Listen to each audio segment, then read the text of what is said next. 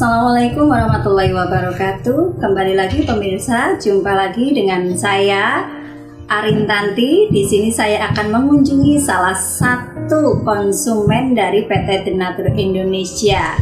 Assalamualaikum Bapak. Waalaikumsalam warahmatullahi wabarakatuh. Dengan Bapak siapa? Dengan Pak Sudiarto, Alamatnya? alamat Cipancur, RT 04, RW 17, Desa Jenang, Kecamatan Majenang, Kabupaten Cilacap. Iya mohon maaf Bapak, sebelumnya saya mau nanya dulu keluhan Bapak itu apa?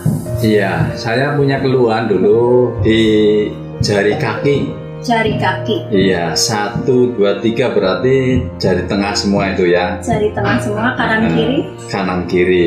Jempolnya sama kelingkingnya sih nggak sakit. gitu. Iya, Itu sekitar dari tahun 2017 awal. 2017 awal Ah, ya betul. sudah mulai sakit Sudah sakit itu. Rasanya. Rasanya ya panas, pegel. Ya pokoknya dibayangkan sulit sekali itulah untuk sakitnya.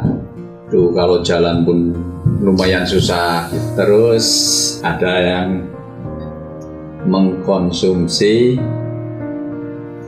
Habis. dari Habatop gitu loh. Terus saya ngikut, ikut minum.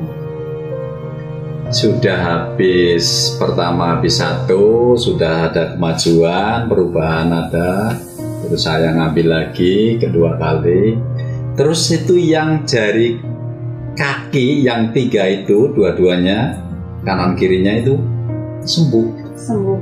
Nah, tinggal sekarang yang belakang Yang belakang itu bagian tungkaknya ya tumit ya tumit bagian tumit itu itu sampai sekarang pun saya masih tapi sudah eh, sedikit berkurang begitu. Itu dari produk Denatur Habatop ya. Anunya Habatop produknya Habatop itu Nah. yang dikonsumsi ya Pak ya. iya iya.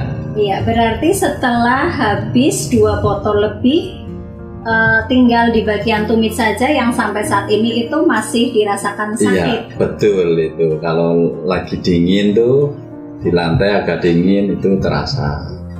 Gitu. Tapi kalau udah kena panas ya udah biasa lagi gitu. Jadi sembuh lah mungkin ya, minyak juga sembuh Iya. gitu. Total yang untuk telunjuk apa kakinya Iya. jari kaki yang tiga itu udah sembuh. Sudah sembuh. Nah tinggal ditumit ini. Demikian tadi pemirsa cerita dari Bapak Sudiarto yang sudah menggunakan Habatop dan alhamdulillah sudah ada perkembangan yang lebih baik. Buat pemirsa, jangan lupa mengkonsumsi terus Habatok.